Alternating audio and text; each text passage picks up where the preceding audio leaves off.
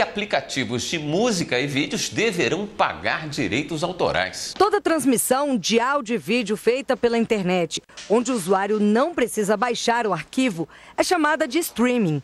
A tecnologia também é muito usada em jogos online e em plataformas que armazenam arquivos. O streaming ele vem ganhando cada vez mais a população porque é, o acesso é limitado e o custo é muito baixo é quase nada. Quebrou a pirataria. Não, não tem mais a necessidade de eu buscar um conteúdo é, ilegal, porque eu tenho ali o streaming, milhares de coisas disponíveis ali, sem precisar é, de espaço no, em dispositivo, sem precisar pagar um valor alto e tudo de forma acessível. A ferramenta é uma das mais utilizadas atualmente na internet. Por isso, o Escritório Central de Arrecadação e Distribuição, o ECAD, entrou na justiça cobrando o pagamento de direitos autorais da empresa de telefonia Oi.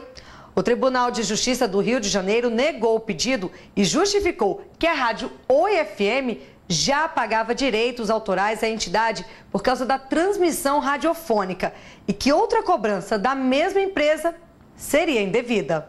O ECAD recorreu ao STJ para o relator, ministro Vilas Boas Cueva, a transmissão digital via streaming é sim uma forma de execução pública.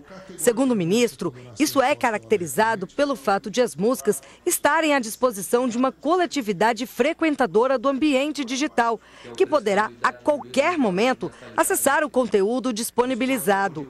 O ministro ainda destacou que a decisão do STJ prestigia, incentiva e protege os autores centrais da indústria da música, os compositores.